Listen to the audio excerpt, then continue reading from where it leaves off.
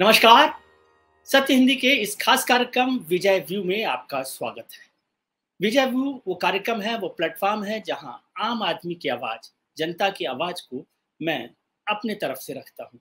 विजय view का मतलब मेरा कोई विचार नहीं है। ये वो विचार है, ये वो आवाज़ है जो नक्कार खाने में तूती की तरह से दबाई जाती रही है।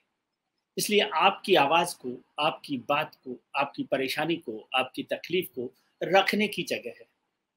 इस कार्यक्रम में हम कोशिश करेंगे कि हर दिन किसी एक सामयिक विषय पर कंटेम्प्रेरी जो सब्जेक्ट है इशू है, उस पर चर्चा करें, ताकि उसका जो मसला है, उस पर कोई गहरी बात की जा सके, कोई गंभीर बात की जा सके। सिवाय राजनीति की बात नहीं हो, सिवाय घटना की बात नहीं हो, सिवाय तथ्यों की बात नहीं हो, उससे भी परे जाकर, उसकी जो तकलीफ़ है, उसकी जो हकीकत है, उसकी जो संवेदनाएँ हैं, उनकी भी बात हम कर सकें।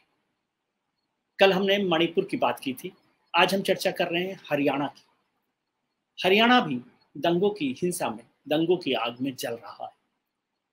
वहाँ पर पाँच जिलों में इस समय धारा एक लगा दी गई है। छह जिलों में हो गई है वो धारा एक सौ चौवालीस लगा दी गई है। नू में जिस तरह की हिंसा हुई, जिस तरह की आगजनी हुई, जिस तरह का पथराव हुआ, भयानक था।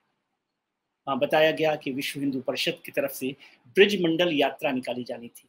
धार्मिक जुलूस निकाला जाना था, धार्मिक जुलूस निकाला जा रहा था, तभी पथराव चालू हो गया। पथराव की बात कही गई कि आरोप लगाया गया कि कुछ समूह ने, कुछ लोगों ने पथराव किया और पथराव के बाद एक दूसरे में तमाम तरह की उलझने होने लगी, तमाम तरीके के दंगे होने लगे। एक तरफ़ से पथराव हो रहा था, दूसरी तरफ़ से पथराव हो रहा था और फिर देखते देखते आगजनी होने लगी, फिर गोलीबारी भी होने लगी।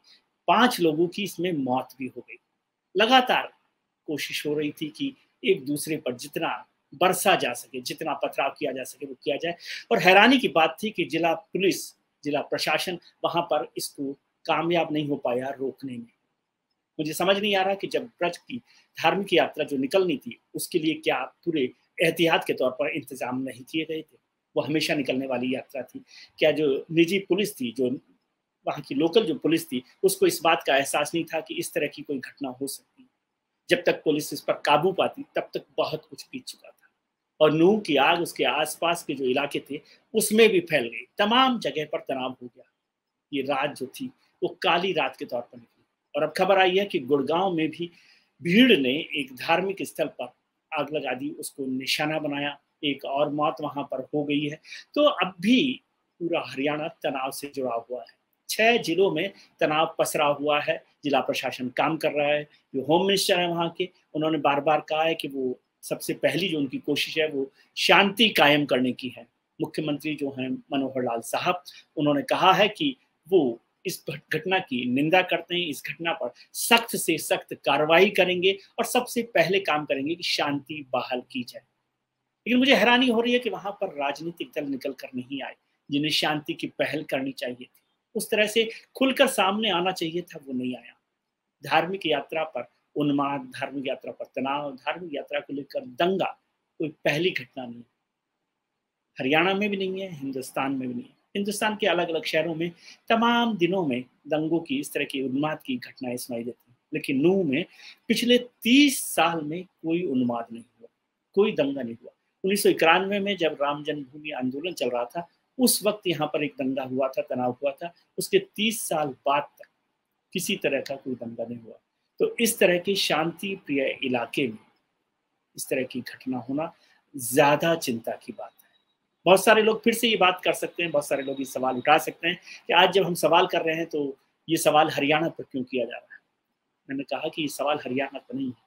ये सवाल हर उस शहर का, हर उस गाँव का, हर उस कस्बे का है जहाँ पर राजनीतिक रोटियाँ सीखने के लिए धार्मिक उन्माद को हवा दी जाती है।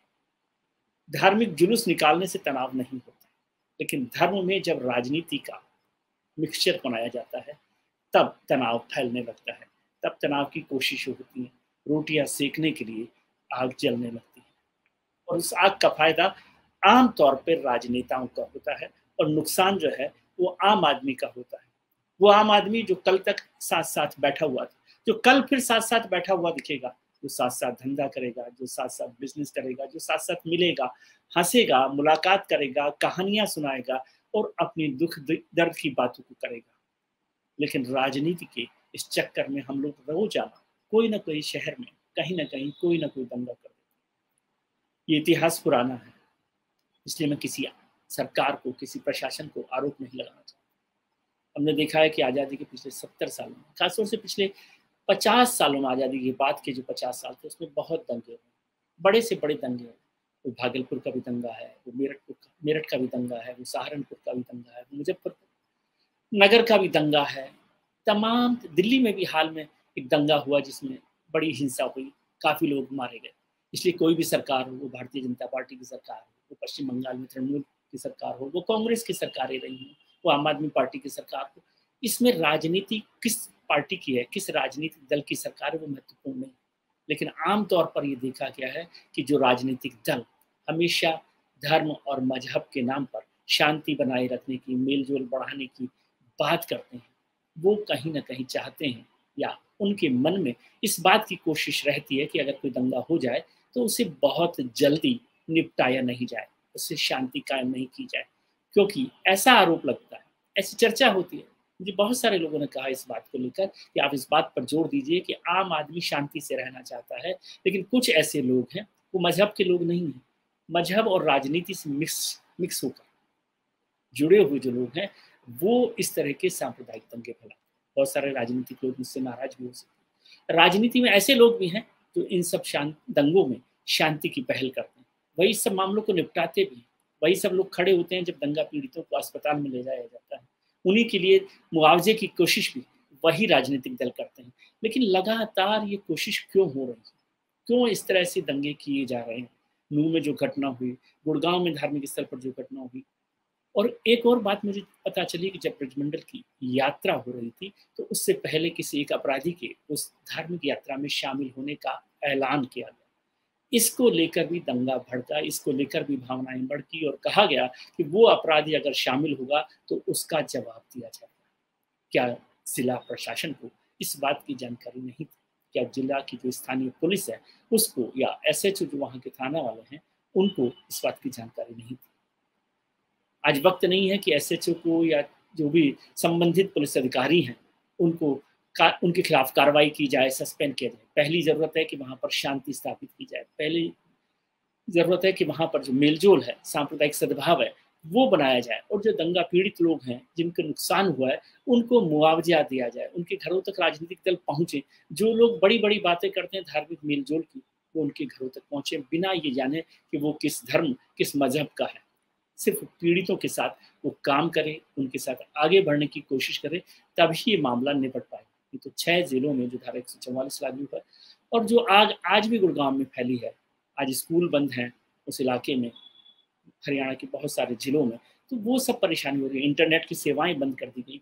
आम आदमी का जीना मुहाल हो जाता है और जो गरीब आदमी है, उसकी रोजी रोटी जो है, मुश्किल में आ जाती है, क्योंकि वो रोज निकलता है, रोज मेहनत करता है, रोज कमाता है। उन सब के लिए बड़ी परेशानी होती है। और इसके साथ साथ दंगा खत्म भले चार दिन में हो जाता है। उसके जख्म भरते नहीं हैं। उसके जख्मों का रिसाव बहुत लंबे समय तक होता है और बहुत समय तक ये मतभेद, मनभेद में भी बदल जाते हैं।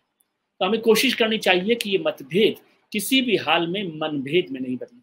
कोशिश किया जाए कि इन सब दंगों को, इन सब जख्मों को तुरंत भरा जाए, मलहम लगाया जाए, एक दूसरे से प्यार से बात की जाए, एक दूसरे को बैठा कर निपटाया जाए।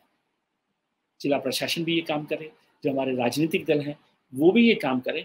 और जो मैं समझता हूँ कि राजनेताओं की और जिला प्रशासन की ज़रूरत नहीं हम खुद समझदार हैं, हम कोशिश करें ये सब आसानी से हो सके और हरियाणा में बहुत जल्द अमन चैन कायम हो सके। ये हम उम्मीद करते हैं, ये हम प्रार्थना करते हैं और ये हम इच्छा भी ज़ाहिर करते हैं। इस सबको पूरा करने के लिए हम सबको साथ खड़े होने की ज़रूरत है। एक बार फिर से मैं चेतावनी के तौर पर कह रहा हूँ कि राजनीति और धर्म को मत मिलाइए।